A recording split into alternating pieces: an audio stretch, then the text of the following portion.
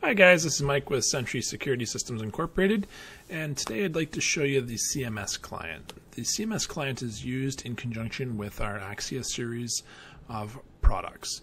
It is used to connect remotely via a PC to an Axia NVR, DVR, or our RP IP guard. What I'd like to do next is show you the CMS client, what the interface looks like, and how to configure it. I already have it installed on this computer, so I'm simply going to double click on the desktop to open the CMS client. Once the software opens, we're we are greeted with the default interface. First step is to click on settings and we need to add a device or two.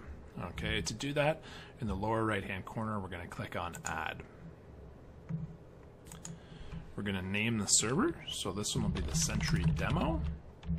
We need to enter our IP address.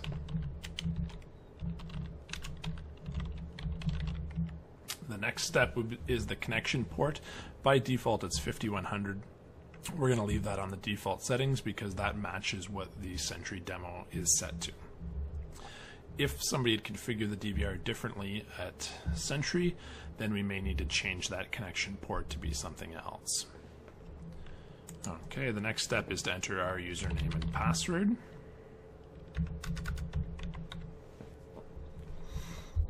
Now, you don't need to change any other settings. It does give you options. For example, you can play a WAV file if there's motion uh, to, to prompt you to look at the screen so you can see what's going on. You can specify which cameras you'd like to view. The other key one here is device type. Okay, for PC based devices, which all of the Sentry NVRs and DVRs are, you'll leave it on the default.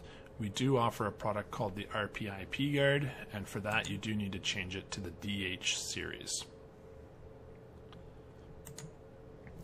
The next option down below that one is the stream type. So you have substream and mainstream. If you're connecting to a device on your local area network, we recommend mainstream. If you're connecting over the internet, we would recommend substream. Okay, I'm going to use Substream because I'm connecting over the internet back to the office. Once I've done that, I'm going to go down here and click on OK. Now we can see in the list the Sentry demo. We see the IP address, display port, and the number of cameras on the system. If you see zero in the number of cameras, then that typically means that you've entered something incorrectly. So you'd click on the device, go to modify, double check your uh, usernames, passwords, IP addresses, all that sort of stuff. I'm going to enter my IP address again. It does reset it each time you go in. So I'm going to press OK. Next, I'm going to go down here and I'm going to click on Add. And uh, for this one, I'm going to add my home connection. So I've got the office connection. Also, I want to see what's going on at home in my garage. So I'm going to go ahead and put in my local IP address for that one.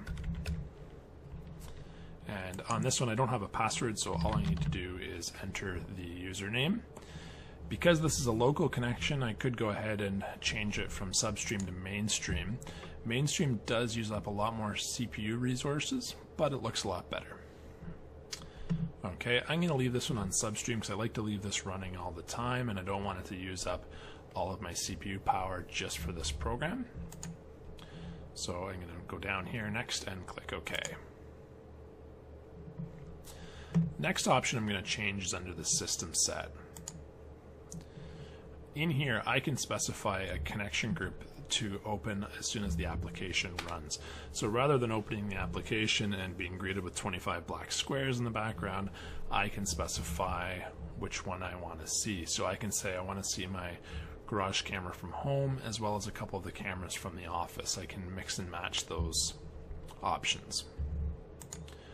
I'm going to select group 1. You can create several different groups as you can see here, up to 32 different groups of connections. Group 1 will be my startup connection. So next I'll go to group set. Now for connection group 1, I only want to see four cameras at a time, so I'm going to change the partition mode to 4 view. For window 1, which will be the upper left hand corner, I'm going to select the Sentry demo and I would like to see camera 2. For window 2, which is the upper right hand corner, I'd like to see camera 1. And then window 3, Sentry Demo, I would like to see the Wi-Fi dome camera. Window 4 will be my home connection. Once I've done that, I'm going to hit save and exit. Now, if I close the software and open it again, we should be greeted with all of our cameras. Okay, now one thing to look at here when I did mention the CPU usage, my home computer is not all that powerful. I am at 100% CPU usage with just these four cameras connected. So if you plan on doing a lot of cameras at the same time, you're going to want to keep an eye on that and make sure you have a system that's fast enough to to handle that. There are ways around it. You could do something like lowering the resolution to help with that.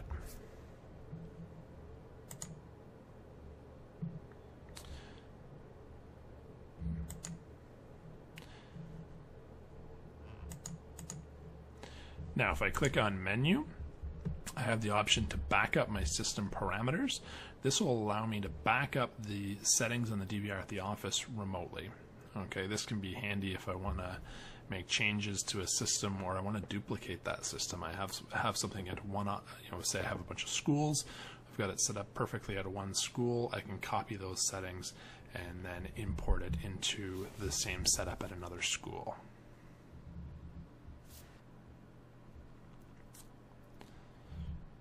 Next thing I'd like to look at is the playback. Down in the lower left hand corner, I'm going to select playback, and it's going to ask me which server I would like to view. I'm going to select Sentry Demo and press OK.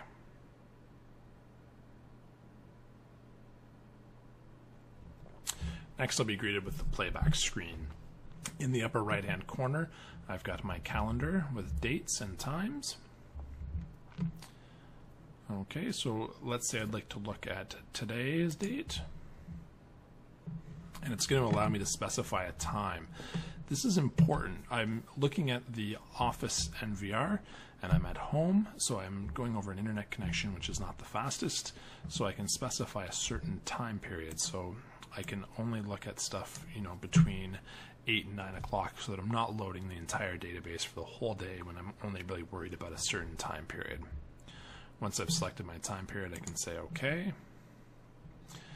And I'm going to be given uh, all of the motion events at that time period. I can double click on any one of the cameras at a specific time and see what was going on at that time on that camera and view it in the playback window.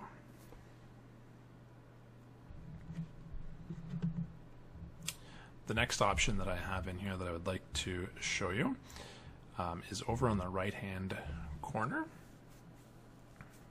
is capture image. I can I can click on that and get an image of what I'm seeing currently on the screen. Right to the right of that is the backup option. If I click on backup and backup by time,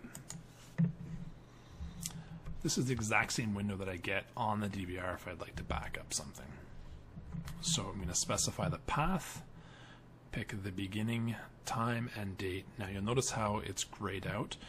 Um, I can only pick from within the time period that I specified um, when I was choosing to load the database. So there's nothing outside of that time frame that I can back up. So I could say, for example, you know, I want to back up between 944 and 948. Once I've done that, I select the camera that I would like to back up and click backup. Once I'm back on the main screen in the lower right hand corner, I can click to exit and that'll bring me back to the CMS client page. Once I'm done with the software, I can again exit out in the bottom right hand corner.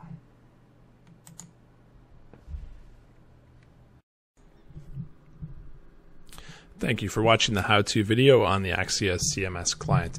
If you have any further questions, please don't hesitate to contact us. Thank you.